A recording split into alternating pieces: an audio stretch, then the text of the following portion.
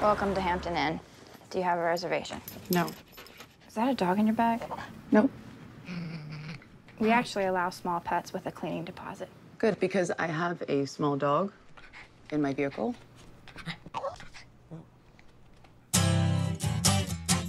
What are you doing back in Mercury? Or you, you move back, or Of course not. Gross.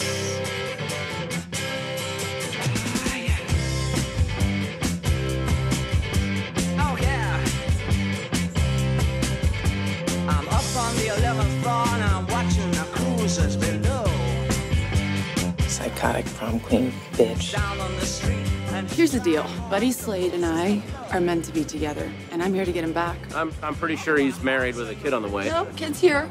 I'm cool with it. I mean, I've got baggage too. I would keep all of this to yourself. I would I would find a therapist. walk out of her heart. That new baby of his is just darling. Have you seen it? Up close?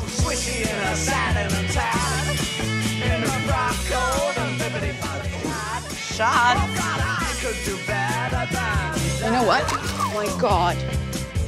She's an old time ambassador. a Sweet talking lady. God, you are a piece of work. Can I help you find something? I'm going to a rock concert with an old flame. Let's show him what he's been missing. No, he's seen me recently. He knows. But his wife hasn't seen me in a while, so.